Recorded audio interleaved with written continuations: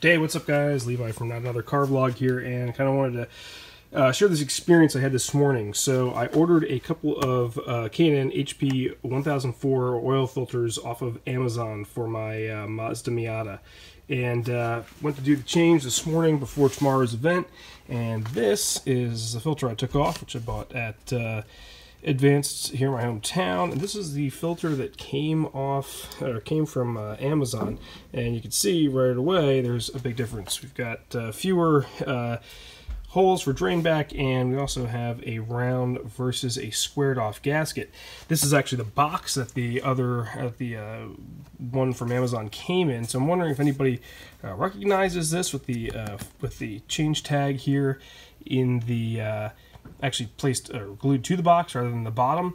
Uh, and also the filters did not come uh, cellophane wrapped. So here's the other, I actually got to the point where I put oil into this filter uh, and, uh, and was, you know, prepping it before I noticed what was going on. So I just uh, went back out, got myself a filter again from the auto parts store locally. Proper filter, everything looks good.